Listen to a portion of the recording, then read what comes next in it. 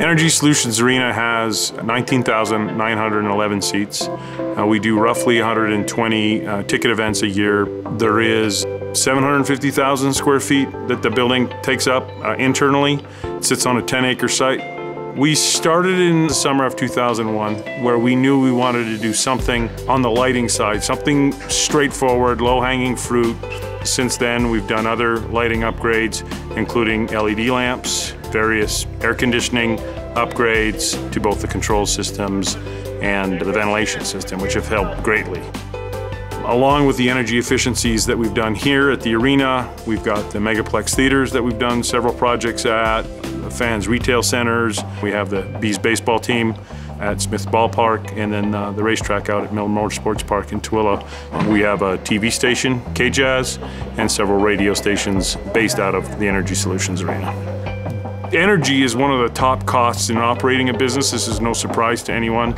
So anything you can do up front to mitigate those costs saves you money really for the length of the business because we know that unfortunately energy costs are going to go up as all other costs go up. So anything you save year one is just going to compound through the, the rest of your business life. Everyone doing everything they can to be energy efficient keeps us from having to build new power plants. So anything we can do to keep from building more plants is good for everyone. We save $312,000 per year as a group.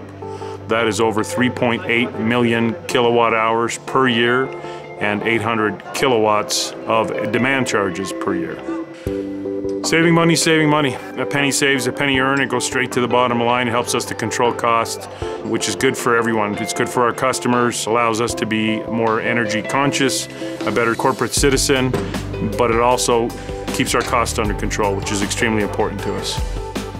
The technical advice we've gotten from Rocky Mountain Power has been invaluable. They have subject matter experts. Um, they go out and contract with engineering firms who specialize in energy efficiency. Uh, it's a very good partnership because it's no one's trying to sell anybody anything. You're trying to work together to accomplish a goal, and that goal is to save money and save energy. So the partnership has been fantastic. Make your business a wattsmart business. Learn more at wattsmart.com.